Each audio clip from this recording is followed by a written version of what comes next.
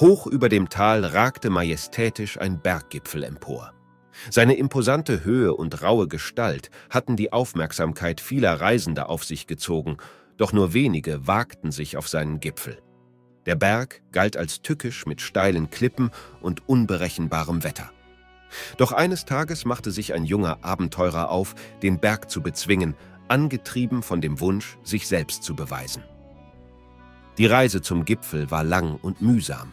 Der Abenteurer überwand Felsen und Felsbrocken, er kletterte steile Klippen und trotzte wilden Winden und Schneestürmen. Oft stolperte er und fiel, doch immer wieder stand er auf, entschlossen, sein Ziel zu erreichen. Tage wurden zu Wochen, während er sich höher und höher den Berg hinauf kämpfte. Schließlich erreichte er den Gipfel. Dort oben stand er, keuchend, nach Luft ringend, sein Körper gezeichnet von Blessuren. Aber er hatte es geschafft. Er hatte den Berg erobert. Mit stolzem Blick über das Tal verspürte er einen Stolz und ein Gefühl der Erfüllung, das er noch nie zuvor gekannt hatte. Als er dort oben im Glanz seines Erfolgs stand, bemerkte er eine Gestalt, die ruhig auf einem nahegelegenen Felsen saß.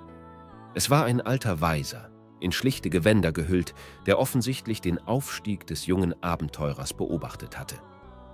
Herzlichen Glückwunsch zum Erreichen des Gipfels, sagte der Weise. Er lächelte den jungen Mann an.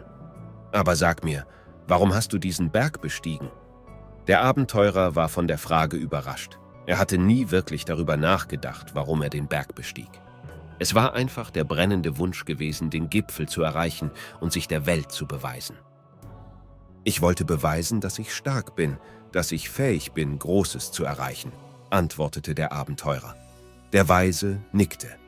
Verstehe, doch sag mir, hast du die Reise genossen? Der Abenteurer zögerte. Er hatte sich so sehr darauf konzentriert, den Gipfel zu erreichen, dass er die Schönheit der Landschaft und die Lektionen, die sie lehrte, übersehen hatte. Ich bin mir nicht sicher, sagte er unsicher. Der Weise lächelte freundlich. Vielleicht solltest du einen Moment innehalten und nachdenken. Schau dich um und genieße die Schönheit der Welt, für die du so hart gekämpft hast. Erinnere dich daran, dass die Reise genauso wichtig ist wie das Ziel, mit diesen Worten stand der Weise auf und ging weg, den jungen Abenteurer allein auf dem Gipfel zurücklassend. Der Abenteurer setzte sich auf den Felsen, wo der Weise gesessen hatte, und fühlte eine Leere in sich.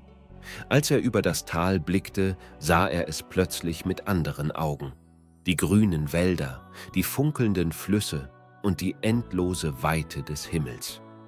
Er erkannte, wie viel er verpasst hatte, indem er sich ausschließlich auf seine eigene Ambition konzentriert hatte.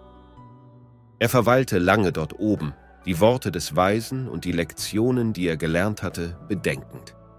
Als er schließlich den Berg hinabstieg, tat er dies mit einer neuen Wertschätzung für die Reise und einem bescheidenen Respekt vor der Weisheit derer, die vor ihm gekommen waren. Die Geschichte lehrt uns, dass die Reise genauso wichtig ist wie das Ziel. Es geht nicht nur darum, das Ziel zu erreichen, sondern vor allem darum, den Prozess zu genießen, von ihm zu lernen und die Schönheit der Welt um uns herum zu schätzen. Der Abenteurer war so darauf fokussiert, sein Ziel zu erreichen, dass er vergaß, die Reise und ihre Lektionen bewusst wahrzunehmen, zu lernen und im Moment zu leben. Erst durch die Worte des Weisen erkannte er den wahren Wert seiner Reise und begann das Leben im Moment wahrzunehmen und zu genießen.